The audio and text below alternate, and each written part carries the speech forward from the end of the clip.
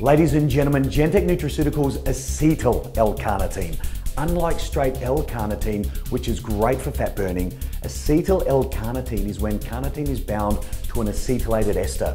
The difference in this form is a portion of this product will cross, or a portion of this amino acid will cross the blood-brain barrier.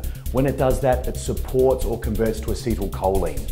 Acetylcholine is our messenger from the brain along the central nervous system to the rest of the body be it organs to function, be it systems to work, or muscles to contract. So acetyl L-carnitine is wonderful to increase nerve conduction and velocity.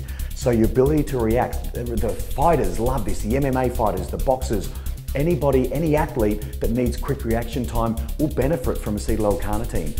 Even weight training, increasing nerve conduction and velocity improves the efficiency of the neural firing at the muscle cells. So you become stronger simply through better neural efficiency.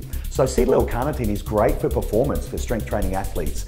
However, we've got that obvious benefit of L-carnitine as a great fat metabolizer. So pre-contest bodybuilders, it's always been my choice acetyl L-carnitine over L-carnitine simply because I get a little bit tired when I'm dieting on low carbs, as many of you do. So acetyl L-carnitine will support your ability to focus, it will cross the blood-brain barrier and increase or improve nerve conduction and velocity and burn fat at the same time. Simply use a level teaspoon of acetyl L-carnitine 20 minutes before cardio as well as 20 minutes before weight training. In fact, I like mixing it with a carbohydrate source for weight training. In doing that, I simply put it into Gen-Tec B2B and consume it during my workout.